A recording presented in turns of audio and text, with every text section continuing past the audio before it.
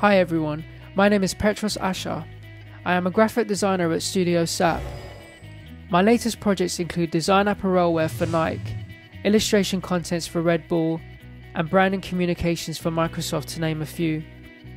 In this course, we are going to learn how to design illustrations and type using different shapes and elements of line art.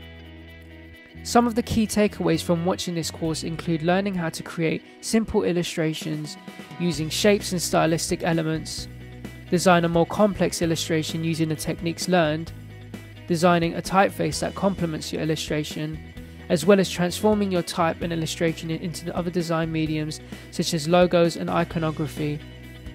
By the end of the training, you will have learned how to design illustrations using a variety of shapes and elements, as well as creating your own display type to use as part of your illustrations.